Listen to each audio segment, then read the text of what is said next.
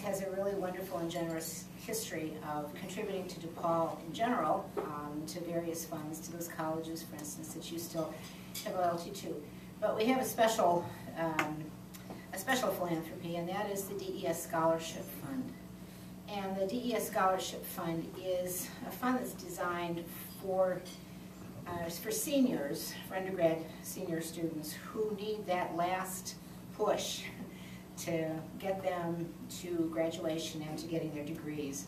And honestly, these scholarships do indeed for these kids make the difference between graduating and not graduating, between getting their degrees and not getting their degrees, between achieving their goals and having to put them off in some cases indefinitely.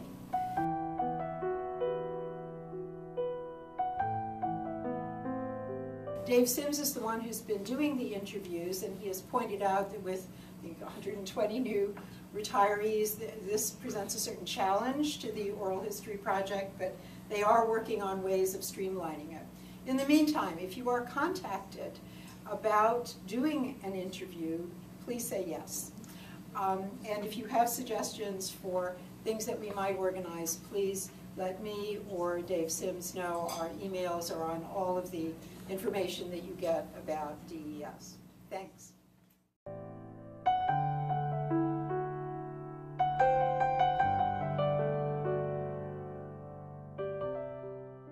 A proof of concept short. So essentially what that is, is instead of making a standalone small project, you make something that introduces a possible larger story that could go on to become a feature film or a series of feature films. Um, or TV show. Or TV show that would, that would make investors more excited about funding you in terms of progressing a story that you've already started instead of giving you money to do something they've never even heard.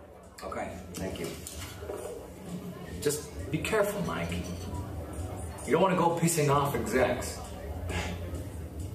My two cents, just write it.